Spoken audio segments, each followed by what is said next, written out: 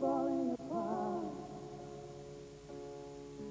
There's nothing I can do but totally to regret